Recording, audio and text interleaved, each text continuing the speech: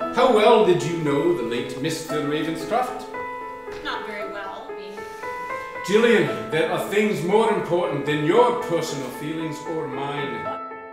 I am not a murderer. Then you have no reason to be upset. I have every reason to be upset. May I go now? I'm very tired. She's really a very stupid girl. I thought she spoke four languages. Dolly? Why, she can barely speak English. I mean, Miss Kleiner. Well, then say what you mean. They've stuck you out here in the country. Whatever you did, it wasn't bad enough to get you fired, but it must have. Do you have a drinking problem? Or was it some woman? My guess is both, starting about the time your wife died. I'm going to vomit. Why would she lie to me about that? I don't know, sir. I I just do what I'm told. I burned the gravy and I dropped the meat in the sink and the cat ate the pudding.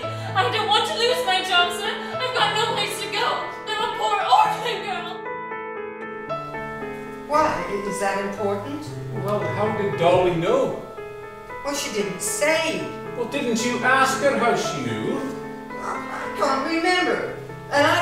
What difference it makes. I mean, Marcy admitted she pushed him, didn't she? She told me. She couldn't have told you.